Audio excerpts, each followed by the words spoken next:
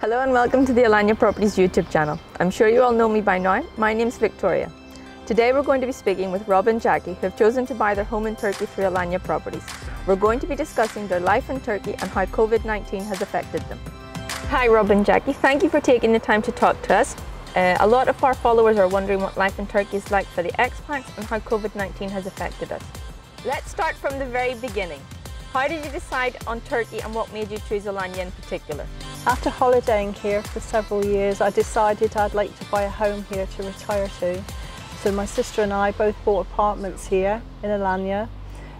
We bought it when it was off plan. It hadn't even been built yet. And then we would come here on holidays a couple of times a year with our families.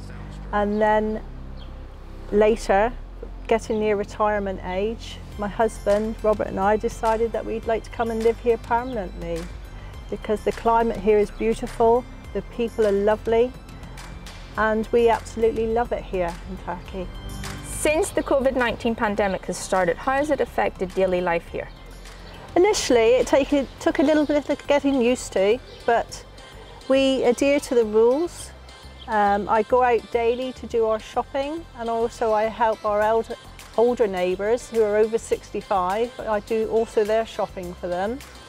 Um, apart from that, we have the freedom to walk around here. And apart from maybe going to the beach every day or swimming in the pool, life still goes on very nicely for us, I have to say. What sort of restrictions have the Turkish government put in place and how do you think that they're handling the situation? Well, I think the biggest restriction that's helped a lot is the intercity travelling. Stopping that obviously is helping a lot to stopping the spread of the virus. Uh, the other restriction would be a curfew on the weekend. Other than that curfew on the weekend, our lives hasn't really changed that much here. We can still get all that we need. We can still there's still plenty of food in, in, in the shops. We can get to the shops. We can go to the banks. We can take care of day-to-day -day business. What sort of assistance is the Turkish government offering not only for their own citizens but for the expats that live here? Because of the restrictions on all people over 65 and under 20, the government have given a helpline for people to call so that they can get any shopping delivered, um, any banking done, bills paid, any medication they need. The government can organise um, their people to come and deliver the things for them. The restrictions also mean that people can help their neighbours by, we do shopping for them and the staff here also, so very helpful.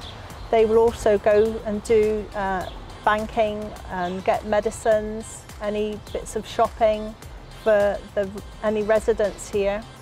So everybody is very helpful and nothing is too much trouble for anybody here. I think one of the most important services that the uh, government has implemented, not just for the Turkish people, but for all foreigners, is that anybody that has any uh, any effects from this COVID virus, it's all medical assistance is free. I think that's very amazing for any country to have that, for all foreigners including. Locally here, uh, when you go to the markets, there's a open markets twice a week. If you don't have a mask, they are giving the masks out before you enter the market. I've seen them where they are disinfecting the streets, great big tankers of water and disinfecting, hosing down complete streets and sidewalks. So the measures that they're taking uh, throughout the whole country and here locally, which we see on a daily basis, are quite amazing. Is there anything that you would like to finally say to any of our viewers that are watching? Well, all I can say that for anybody who's watching, if you have friends or family that are living here or staying here long term, do not worry about us. We're, we are being taken care of very, very well. We're adhering to the curfew rules and we're keeping safe. So we are, we are still living a lovely life here. Uh, Robin, Jackie, thank you very much for taking the time to talk to us today. It's been very, very helpful. Thank you for watching our video and don't forget to subscribe to our channel and like our video. Thank you very much.